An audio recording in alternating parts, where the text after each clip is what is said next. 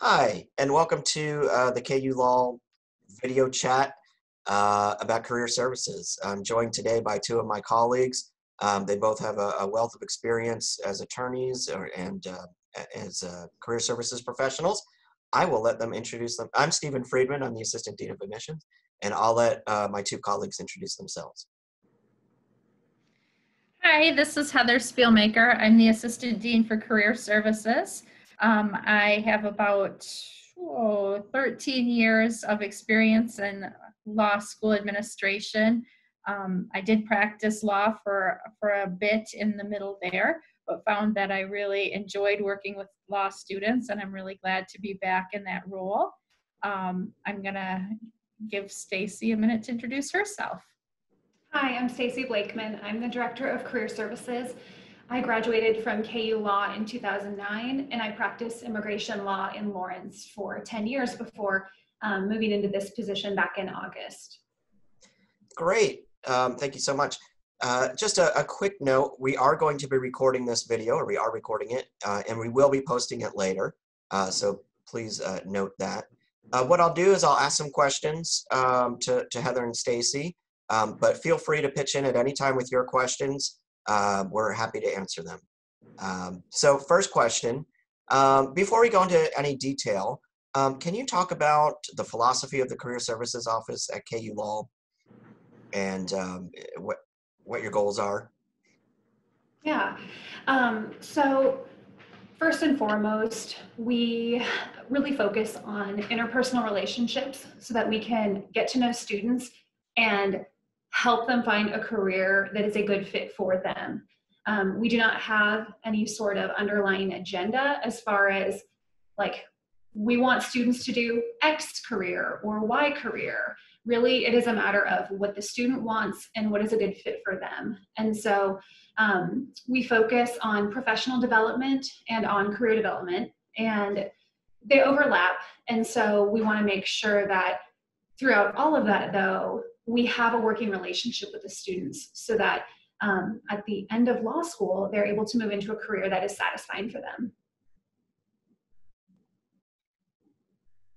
Great. Um, before we get into the details, uh, can we start with the, the most recent headlines? Um, what does the graduating class for this year look like? Do we have some numbers from last year that um, we like to brag about? I'll take that one.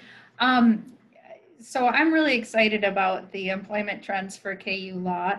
Uh, with the class of 2017, we had about 76% of our graduating class um, that found full-time, long-term work that either required a bar passage, so practicing attorney work, or that gave strong preference to someone who had a JD degree. Um, by the class of 2018, that rose pretty pretty heftily um, we were at 81% for that employment rate. And then this year's statistic, while it's not public yet, um, also shows a very healthy increase again. Um, so I'm really excited about the upward trajectory of um, our employment market and just everything seems to be rolling on really well. Great. Um, well, those sound like really uh, uh, good results for our students. Can you discuss some of the programs uh, that KU Law offers or the I'm sorry, the Career Services Office offers to our students? Yeah, so again, we look at professional development and career development. And first, we want students to have a basic foundation.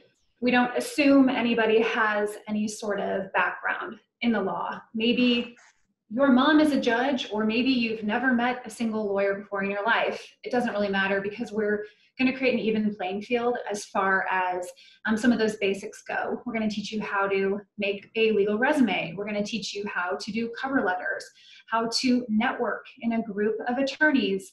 Um, we have a lot of programming that is geared towards that sort of foundational development. Um, and then we also have, um, we like to take students out to experience different opportunities. We um, take students to different parts of Kansas to explore the legal market there. We take them to Wichita and Dodge City. We take students to um, Washington, D.C. for Equal Justice Works project. And we also do traveling, we call them traveling on campus interviews, where we go to places like Denver this summer we're going to Tampa um, to ex- basically expand our market in terms of making it easy for students to interview and find jobs in these different locations. Um, and then we also within Green Hall have a lot of different opportunities where practitioners come in to the building, talk to students, um, talk about their career path, talk about what opportunities there might be, do interviewing for students um, within the walls of Green Hall as well. You know, I, I think that's really important, something Stacey said.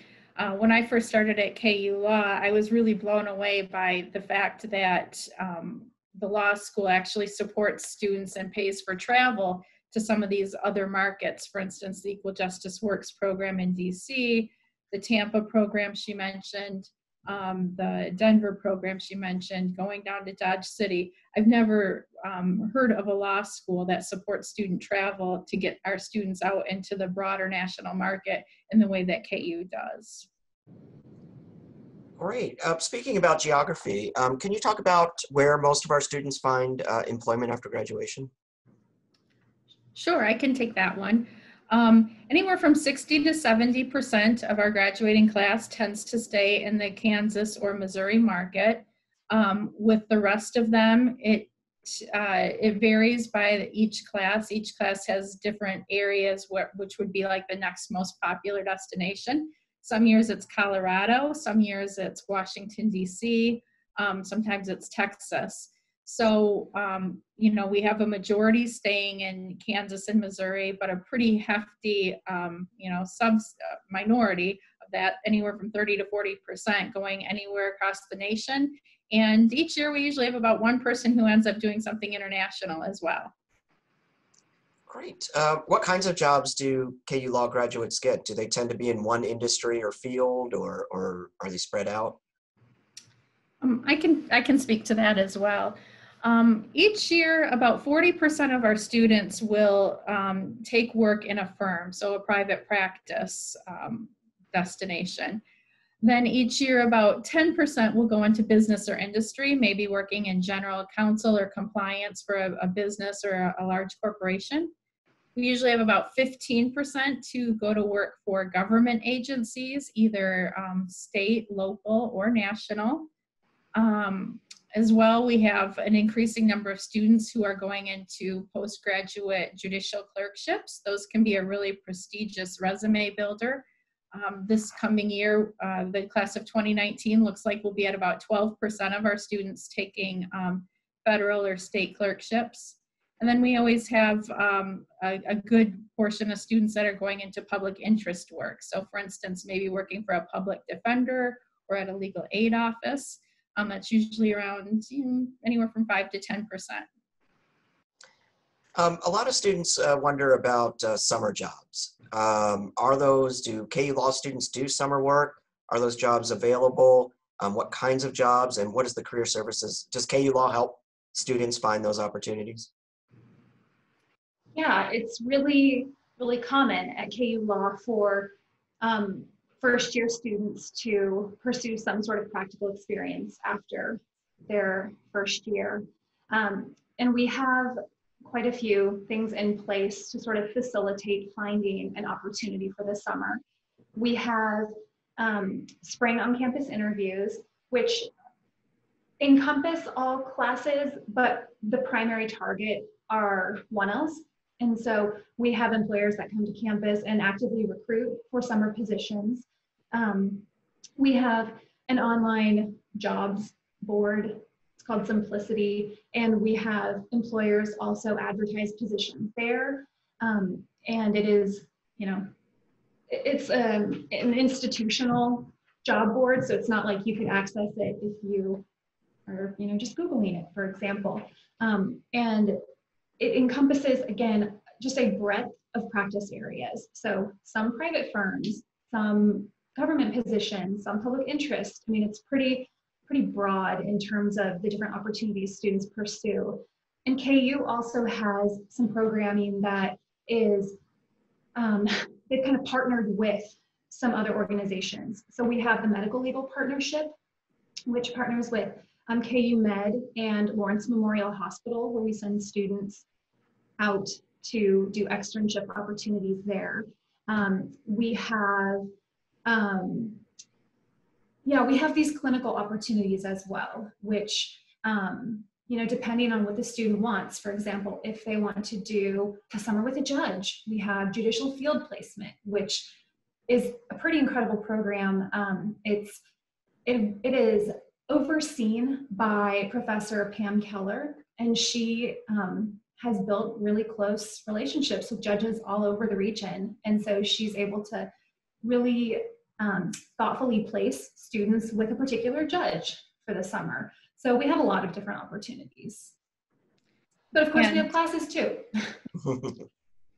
Um, and, and to add to what Stacey has said, um, another thing that I find very generous about the programming at KU Law is the summer stipend program that we have in place. So if a student were to take a paid or unpaid summer position and still have maybe some, um, you know, some financial concerns as far as making ends meet over the course of the summer, there is a very generous stipend program in place at the law school to help cover those financial costs of, of doing a summer uh, opportunity, whether it be, you know, an unpaid internship, maybe with a judge or at a legal aid office, or um, in some cases, even if it's paid, but not quite enough to, to make the ends meet.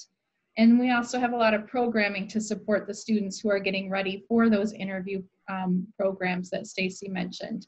We have speed mock interviewing, so students get lots of feedback all in one night um, right before those interviews start so that they can really improve their interviewing skills and a lot of other programming in place to support students so they can put their best foot forward. Um, bringing up to date to uh, current events, uh, we all know that uh, there's uh, quite a situation going on with COVID-19. Um, how do you see this affecting um, our graduates now? And do you think there will be effects as long as three years from now when the class of 2023 graduates? Um, I'll, I'll take that one. So for right now, we have not heard of any employers rescinding offers for postgraduate employment. Everything seems to be, um, you know, going along as planned for right now. Obviously, you know, that's a great question and it's kind of anyone's guess how long this will last. Um, as far as the class of 2023 and now, we're definitely seeing, um, you know, the, the value of being an employment and labor law uh, specialist right now is very valuable. it's definitely skyrocketed, as well as um, attorneys who have a background in um, healthcare law. Now, whether or not those immediate demands, you know, will continue to set the market in the future and be areas of high demand three years from now, I don't know.